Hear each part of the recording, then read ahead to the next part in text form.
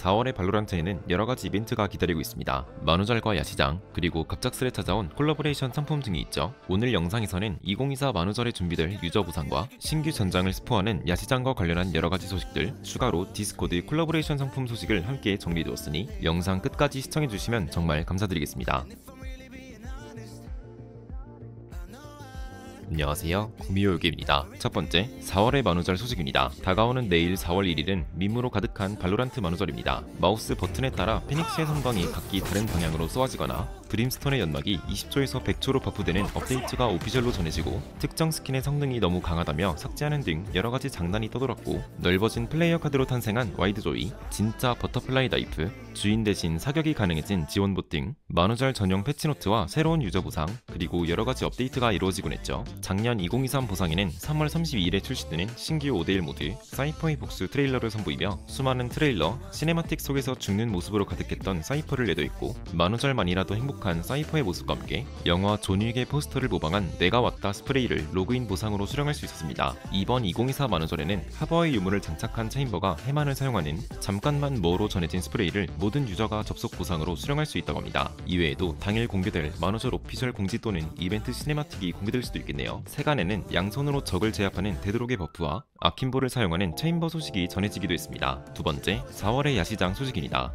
야시장은 새로운 스킨 구매를 고민 중이라면 놓치지 말아야 할 이벤트로 최소 2개 act 전에 출시한 셀렉트, 디럭스, 프리미엄 등급 스킨 컬렉션 중 6개의 무작위 스킨을 할인된 가격으로 판매해주는 이벤트입니다. 에피소드 8 act 2 야시장으로 미리 소식을 알린 이번 4월의 야시장에는 직전 야시장에 추가된 데이드림, 인터그레이드를 포함하여 용맹한 영웅, 크롬덱이 새롭게 추가되었습니다. 야시장마다 매번 헷갈 려 하시는 부분이 있는데 총기 1775VP, 나이프 3550VP의 상한선이 정해져 있어 아이온, 약탈자, 도깨비 2.0의 총기는 1775VP의 프리미엄 등급으로 야시장에 등장할 수 있지만 나이프는 그 이상의 가치로 판매되었기 때문에 야시장에 등장하지 않습니다. 새롭게 추가된 용맹한 영웅 여의봉과 도깨비 카타나도 마찬가지로 야시장 품목에서 제외됩니다. 해외 시간 기준 4월 10일에 야시장이 등장한다는 소문이 있지만 정확한 official은 아니며 빠르면 4월 4일 목요일에 야시장이 오픈할 수 있다는 새로운 가능성이 제기되고 있습니다. 신규 전장을 자체적으로 스포하고 있는 이번 야시장 일러스트에는 바스티온이라 불리우는 새로운 전장의 일부 모습을 공개함과 함께 어두운 지하에 담겨져 있는 듯한 무언가 차가운 방안 속 일러스트와 A와 B 두 개의 사이트를 암시하는 듯한 모습을 남기곤 했습니다. 스파이크 설치가 가능한 지역을 A와 B 사이트 총 두 개의 지역으로 나눈 일반적인 전장을 암시하는 걸까요? 세간에는 신규 전장의 코드네임이 어센트와 반대되는 디센트로 배틀패스 50단계 모든 것의 아래 카드의 의미를 내포함과 동시에 어센트처럼